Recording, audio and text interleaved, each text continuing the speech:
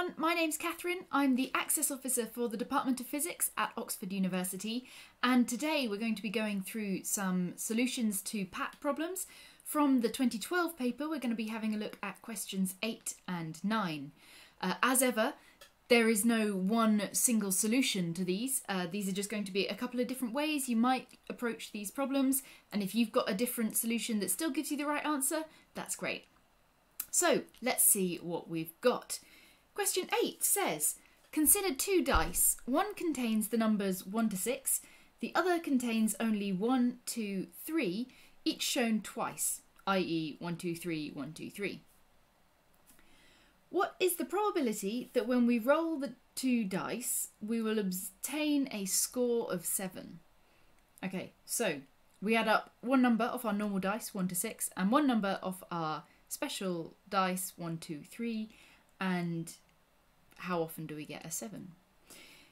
One of the simplest ways to do this is to set out what's called a sample space diagram, uh, which sounds a lot more complicated than it is. All it really is is writing down all of our possible options. So if we write down the possibilities from uh, the first dice across the top, one, two, three, four, five, and six. And then our other dice, we can put our possibilities down the side.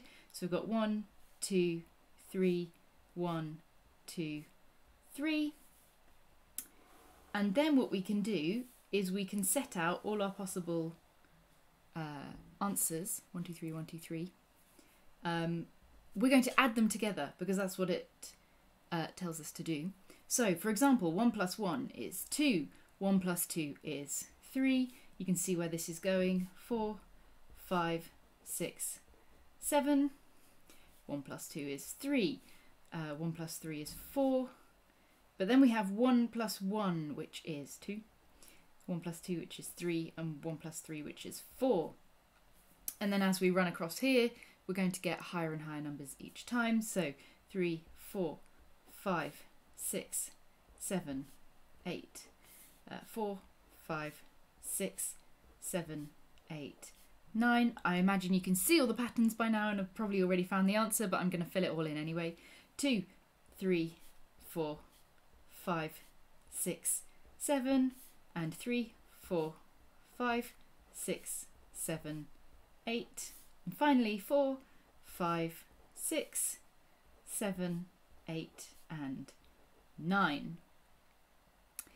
So what we're looking for is all the different ways to score a 7. So we've got one here, got one here, we've got one here, and then we've got the same again, one here, one here, one here.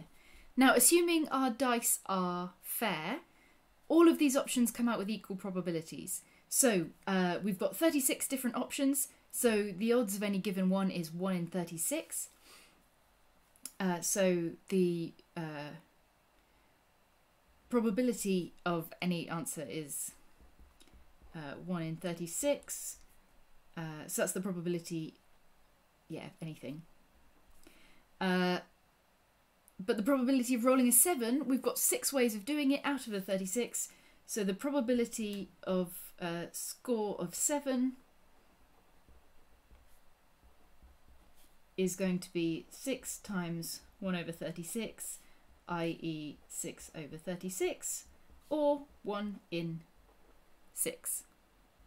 Now, on to question 9. Question 9 says, solve cos squared theta plus sine theta equals 0 for theta. Leave your answers in terms of sine theta. Okay, so uh, our equation is I'm going to label this as equation 1. Cos squared theta plus sine theta equals 0. Now immediately one thing that should spring to mind if you're seeing uh, cos squared or sine squared and some uh, some sum of them is uh, the formula cos squared theta plus sine squared theta equals 1. Uh, that should be something that you know. Um, let's call that equation 2. Uh, if we rearrange 2, if we rearrange for cos squared theta, we can probably substitute into our original equation. So we have cos squared theta equals 1 minus sine squared theta.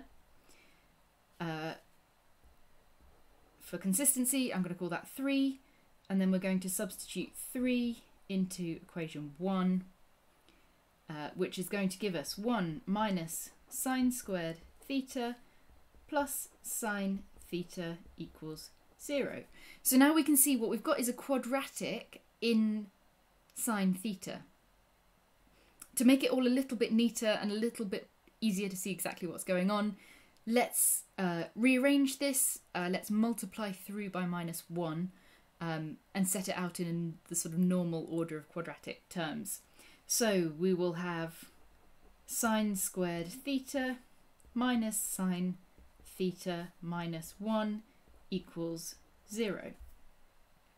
Now I sometimes find um, things like quadratic equations in trigonometric functions just they just look a little bit complicated to me. So one thing I sometimes like to do is to um, change my variables, essentially to rewrite this equation but in uh, a slightly different way. So we can say something like let x equal sine theta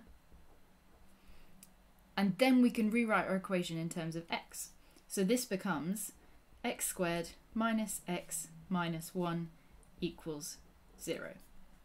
Now we mustn't forget that x equals sine squared, uh, sorry, x equals sine theta, but we can use it in this form for now to make it just nice and clear so that we don't slip up and make any mistakes anywhere.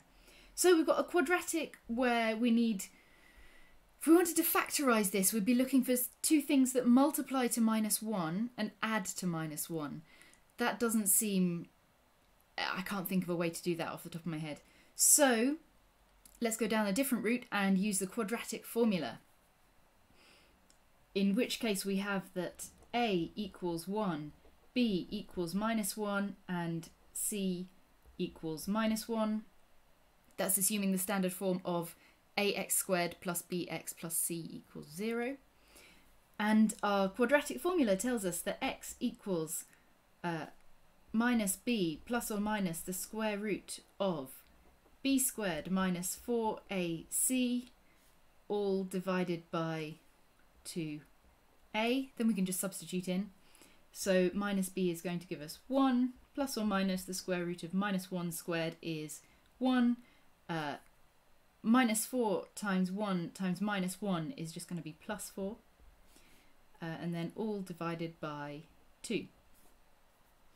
So that is 1 plus or minus the square root of 5 divided by 2.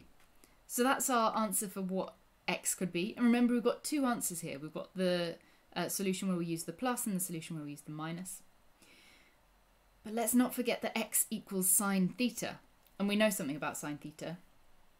We know that sine theta has got to be between minus 1 and 1. And we need to check that these solutions work that these solutions sit within that. And uh, we can see that they don't because uh, root 5, I don't know the value off the top of my head, but I know that it's going to be bigger than 2 because uh, root 4 is 2. So if we've got 1 plus something bigger than 2 divided by 2, that's something along the lines of uh, something bigger than 3 over 2 is definitely bigger than 1. So the only solution can be the one that uses uh, the subtraction. So 1 minus root 5 over 2. So uh, sine theta has got to be between minus 1 and 1. So x equals 1 plus root 5 all over 2 cannot be a solution.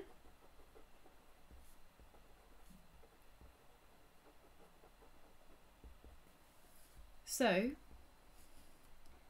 sine theta equals uh, 1 minus square root of 5 divided by 2, which you could also write, if you prefer, as a half minus root 5 over 2. And there we go. As it has asked us to, we've left our answer in terms of sine theta. but maybe that middle step of writing it out in terms of x might make it just that little bit easier to see what's going on. All right, those are the two solutions for our problems this week. Uh, so that was questions 8 and 9. Very appropriately, Helena will be going through question 10 next week. So I hope we uh, see you again there. Thanks, everyone.